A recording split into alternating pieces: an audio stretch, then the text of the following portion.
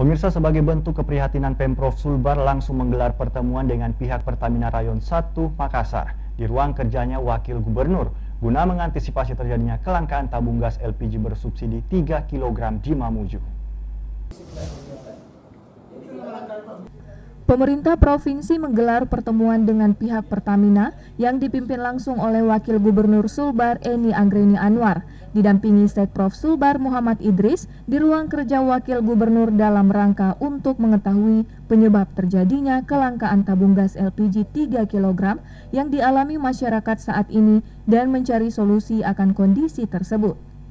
Sekprov Sulbar Muhammad Idris mengatakan, pemerintah provinsi saat ini telah melakukan himbauan dan surat edaran kepada pihak Pertamina agar secepatnya bisa melakukan pendistribusian kepada masyarakat Sulawesi Barat. Kita juga sudah menyampaikan himbauan surat edaran kepada Pertamina untuk LPG 3 kg itu nggak boleh sama sekali. Jangan sampai ada warga negara yang uh, keberatan dengan dengan keberadaan uh, apa LPG 3 kg itu karena memang hak mereka itu. Jadi kalau ada itu berarti pelanggaran dan Pemda akan melakukan tindakan tegas untuk itu bersama dengan petugas keamanan.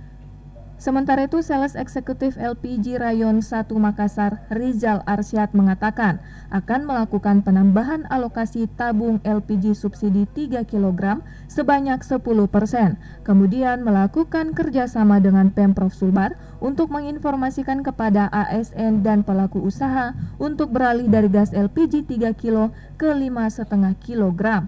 Ada dua Pak ya. Yang pertama kita akan menambah uh, alokasi untuk mulai besok kita tambah alokasinya sebanyak 10%. Kemudian yang kedua adalah kerjasama dengan gubernur dan uh, bupati untuk melakukan promo untuk ASN dan rumah makan agar mereka beralih ke lima setengah kilo.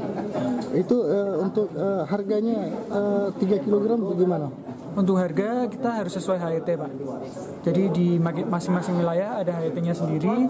Jadi kalau memang uh, ada pangkalan yang menjual di atas HET bisa dilaporkan ke kita, akan kita tindak langsung untuk pangkalannya. Kelangkaan gas LPG di wilayah Sulawesi Barat diketahui disebabkan oleh adanya bencana banjir serta sejumlah jembatan penghubung yang terputus. Namun pihak Pertamina segera akan melakukan penyaluran dengan penambahan alokasi tabung gas LPG subsidi sebanyak 10%. Dari Kabupaten Mamuju, Abdul Jalal Ainus melaporkan.